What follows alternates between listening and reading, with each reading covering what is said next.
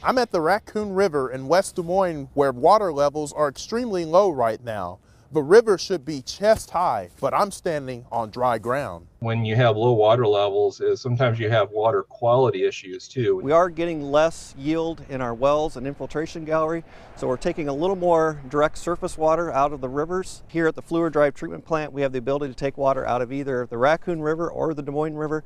So we look at both of those rivers uh, to determine which has the best water quality for the day. That's Kyle Danley of Des Moines Waterworks. Right now, the time of year is working in our favor. Irrigation load has dropped off significantly, especially the last several days, and so water demand is down. Um, Des Moines Waterworks is monitoring the drought conditions in Iowa very closely.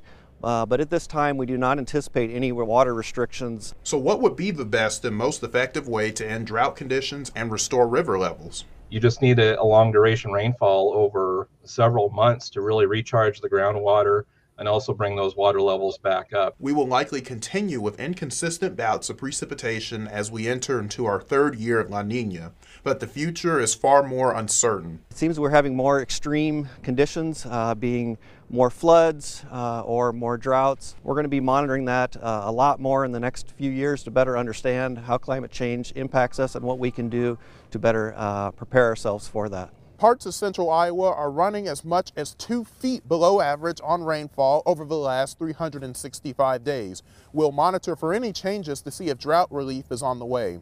Trey Fulbright, KCCI 8 News, Iowa's news leader.